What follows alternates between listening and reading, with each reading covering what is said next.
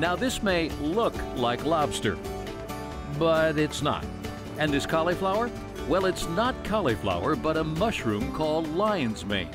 Lion's mane is really cool for kind of like imitating meat, so you can kind of cut really thick slices of it and almost do like a crab cake out of it. Some people will bread them up and fry them so you get this like nice crispy texture on it. The distinctive looking lobster and cauliflower are just two of the organic exotic mushroom varieties that customers can find at the Far West Fungi Cafe in Santa Cruz, California. They're usually um, just really intrigued with the variety that we bring in. Maybe the only thing they've ever had is a, is a white button mushroom that came in a can and how much they dislike those mushrooms. And then when they come to our shop, they realize, well, it's not the only thing that is available. We do have some uh, new merchandise that's going to be coming in. It looks like uh, on online sales have been really good. Ian Garrone oversees operations for Far West Fungi's Santa Cruz store and the company's outlet in San Francisco's Ferry Building. The family run agricultural operation with Ian, his parents, and three brothers also provides online sales and reaches consumers directly at more than a dozen farmers markets in Northern California. Many shoppers are attracted to the exotic mushroom varieties seldom found elsewhere. Well, they love the product. You know, usually they say, oh, "I haven't, I haven't been able to find this for years," or you know, this was a mushroom that I only found in my native country, whether it be the Philippines or you know Russia. Ian's parents, John and Toby Garrone, began the business in the 1980s. John came from a farming background. Living in San Francisco, the couple began growing mushrooms in a warehouse as a sideline to John's full time job. When I started working in the mushroom business, um, I was still a member of the communication staff of the San Francisco Police Department. And so basically, I was uh, dispatching police cars at night and then selling mushrooms in the morning. Far West raises their organic exotic mushroom varieties at two locations south of San Jose in California's coastal area. The majority are raised here in an extensive warehouse complex near Moss Landing. So you can actually grow mushrooms anywhere, um, all over the world, because you're basically having mushroom houses that are temperature and humidity controlled. Ian's brother, Kyle Garrone, handles operations here, a complex process involving detailed steps unlike other types of agricultural production.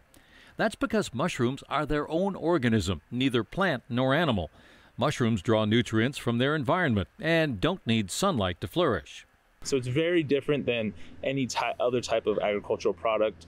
Um, it's somewhere in between like farming and science um, and somewhat like a factory because you're producing it in large volumes in big warehouses. Far West grows their fungi in organic hardwood sawdust.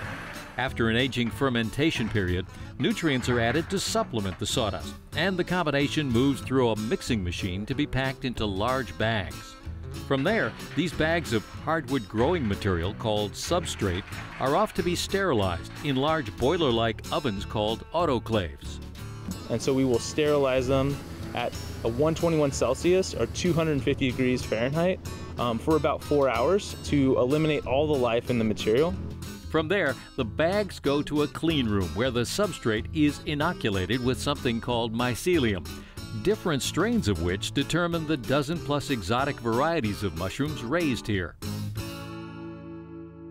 So we'll be adding that to our bags and then we seal the bag. And so we're basically sealing the fungus within its food source in a sterile environment. So it's basically you have your fungus with its food without any competition.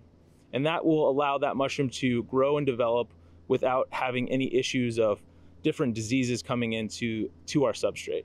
The bags of inoculated substrate are stored in dark, humid environments where the mushrooms sprouting from the substrate are harvested by hand. Far West will process more than 20,000 bags a week. From the beginning, farmers markets have been key to the family's success as customers looking to expand their food horizons sampled and purchased new varieties. Farmers markets are really important. I find that people are a lot more adventurous than I think they would be in the grocery store. I think that we were so lucky as to when we started and just just the movement of food and fresh food, organic food, uh, healthy food has, you know, we just came into it by luck at the right time. Ian Garrone hopes his young daughters can someday carry on this farming family tradition. A tradition that he says uses everyone's talents to the best advantage. So we have our all our strengths, uh, you know, kind of covered, um, but everyone does different things, and I think that really helps um, allow us to kind of grow in our own areas, and then also can support each other.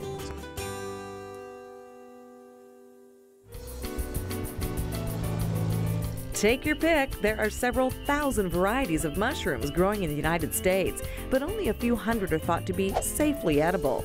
And a word about toadstools. The word was once used interchangeably by some cultures in identifying certain mushrooms. Today, the word toadstool is often used to describe examples of poisonous mushrooms.